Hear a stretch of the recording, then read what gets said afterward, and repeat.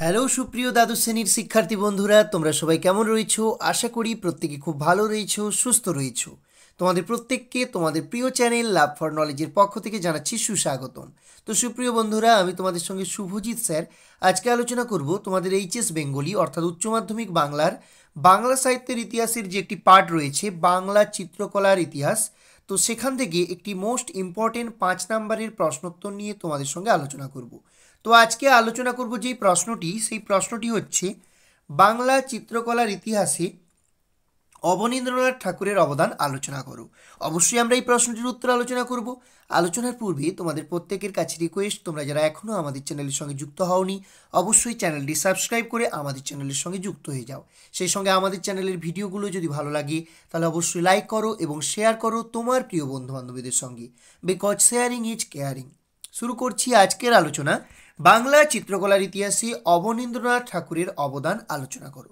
তো কি বলা হয়েছে? দেখো উত্তরে।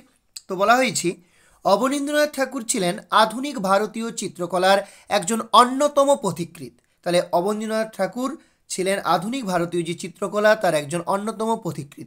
নব্যবঙ্গীয় চিত্ররীতিরও জনক তিনি। জোড়াসাঁকো ঠাকুরবাড়ির এই কৃতি পুরুষটি ছোটবেলায় অঙ্কনের প্রশিক্ষণ নিয়েছিলেন। ড্রয়িং, পেস্টেল জল রং এবং ওয়েল পেন্টিং শিখেছিলেন বিদেশি শিল্পীদের কাছে। এই তালিকায় রয়েছেন ইংরেজ শিল্পী পামার, জাপানি শিল্পী টাইকান প্রমুখ। একসময় তার হাতে আসে আইরিশ ইলুমিনেশন এবং মুঘল মিনিয়েচারের কিছু নিদর্শন। কিন্তু এই সকল শিল্পকর্ণ তাকে তৃপ্ত করতে পারেনি। শেষ পর্যন্ত রবীন্দ্রনাথ ঠাকুরের পরামর্শে তিনি ভারতীয় সনাতন চিত্রাঙ্কন রীতি পুনরুদ্ধারের পুনরুদ্ধারের সাধনা শুরু করেন। তাঁর চিত্রচর্চার বিষয় হল বৈষ্ণব পদাবলী। তার চিত্রচর্চার বিষয়টা কি হয়? বৈষ্ণব পদাবলী। এই বৈষ্ণব পদাবলীকে অবলম্বন করে তিনি এঁকেছিলেন বিখ্যাত শ্বেত অভিসারিকা।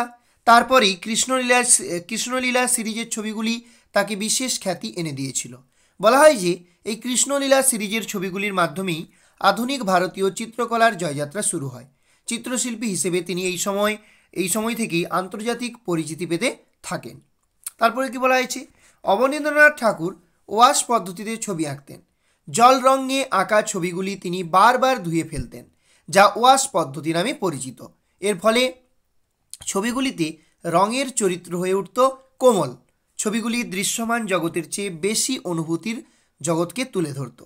তার বিখ্যাত ছবির তালিকায় রয়েছে কচ এবং দেবযানী, ভারতমাতা, অশোকের রানী দেবদাসী, কাজরি নৃত্য, অন্তিম শয্যায় শাহজাহান প্রভৃতি উল্লেখযোগ্য।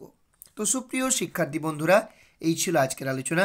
আজকের আলোচনাতে তোমাদের সঙ্গে আলোচনা করলাম বাঙালি চিত্রকলার ইতিহাসে অবনীন্দ্রনাথ ঠাকুরের অবদান নিয়ে। তো আমরা আমাদের আগের ভিডিওটি আলোচনা করেছিলাম, ভারতীয় সঙ্গীতের টপ্পা গানের ধারাটি সম্পর্কে আলোচনা করো। তো তোমরা যদি এই ভিডিওটি না দেখে থাকো, তাহলে অবশ্যই আমাদের যে প্লে লিস্ট রয়েছে সেখানে চলে যাও এবং উচ্চ মাধ্যমিক বাংলা যে প্লে লিস্টটি রয়েছে, সেখানে তোমরা ক্লিক করো এবং সেখান থেকে তোমরা উচ্চ মাধ্যমিক বাংলা সাহিত্যের ইতিহাস থেকে যে মোস্ট ইম্পর্টেন্ট প্রশ্ন, তার উত্তরগুলো পেয়ে যাবে। এবং তোমাদের প্রত্যেককে আমি আরও একবার ধন্যবাদ জ্ঞাপন করছি।